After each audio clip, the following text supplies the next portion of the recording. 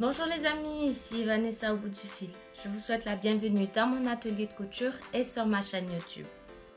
Aujourd'hui, je vais vous présenter une vidéo plutôt rapide pour vous montrer comment réparer des déchirures sur une robe.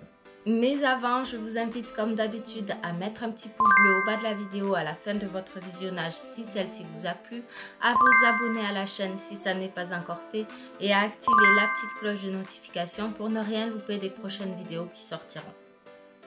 Je vous laisse maintenant découvrir la suite de la vidéo en images.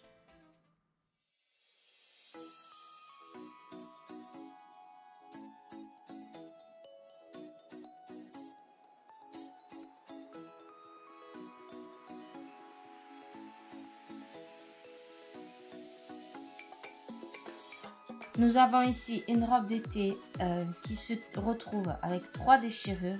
Donc la première ici, la seconde ici, la troisième ici et ici on a une menace de déchirure. Dans ce genre de cas, il n'y a pas euh, de nombreuses solutions pour réparer. Je pourrais mettre une pièce à l'intérieur et zigzaguer par-dessus. Mais au vu de la finesse du tissu, qui est quand même relativement fragile, ça ne ferait qu'empirer les choses. La solution que j'ai, c'est de créer trois pinces dans le sens des déchirures. Donc je vais les épingler et ensuite on ira les piquer directement à la machine avec du papier de soie. Je retourne mon vêtement pour avoir l'envers face à moi. Je vais attraper mes déchirures en les pinçant et je vais les épingler de manière à pouvoir ensuite aller les piquer à la machine.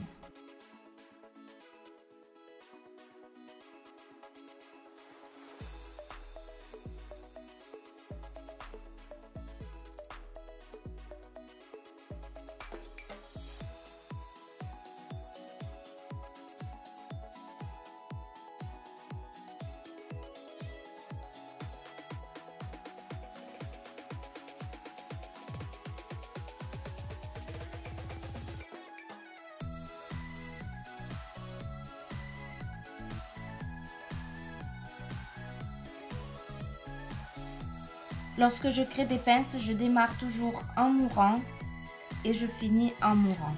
Ici, je me suis bien éloignée de l'usure du tissu pour ne pas que la déchirure se recrée plus tard. J'ai enfilé ma machine dans la bonne couleur, en jaune, et maintenant je vais aller piquer chacune de mes pinces une après l'autre en enlevant au fur et à mesure les épingles et en insérant au-dessous un morceau de papier de soie ou de papier calque. La matière étant extrêmement fine et délicate, je préfère insérer mon petit morceau de papier calque afin que le travail glisse plus facilement sous la machine et que je ne fasse pas plus de dégâts qu'il n'y a déjà.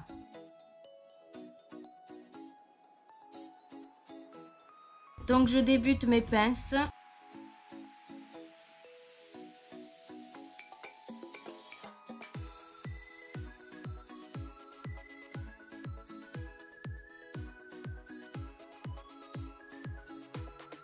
Lorsque j'ai piqué comme ceci, je peux ensuite enlever mon papier de soie.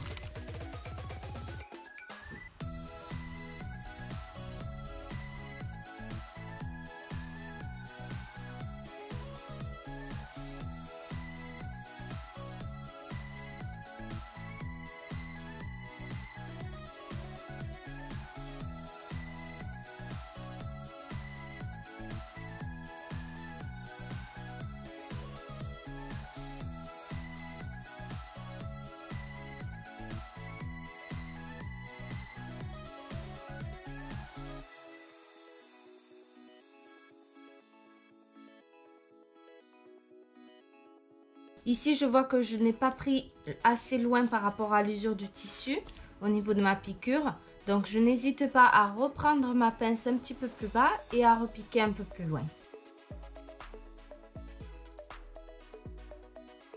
Comme vous pouvez le voir, le papier de calque a vraiment une utilité très importante ici dans cette retouche puisqu'il permet vraiment de faire glisser la matière sur les griffes de la machine sans que le tissu ne soit absorbé dans celle-ci. En effet, la matière est vraiment très fragile, fragilisée d'autant plus par la déchirure, mais très fine et délicate.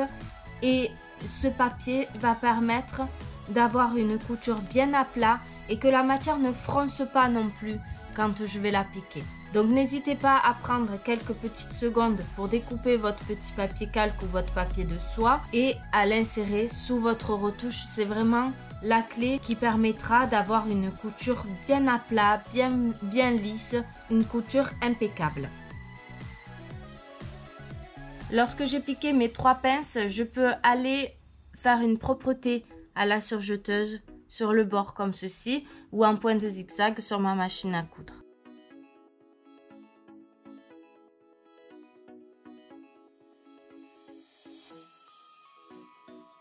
J'ai mes trois pinces terminées. On va retourner la robe, regarder le résultat et donner un petit coup de fer à repasser pour finaliser la retouche. Ici, on voit les trois pinces que je vais repasser bien à plat.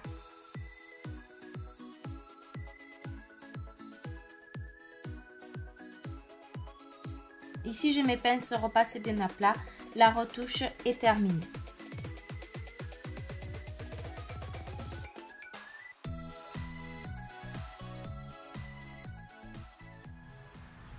Notre retouche est terminée.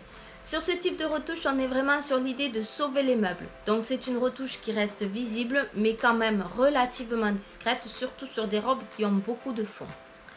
J'espère que ce tutoriel vous a plu, qu'il vous aura semblé facile à réaliser.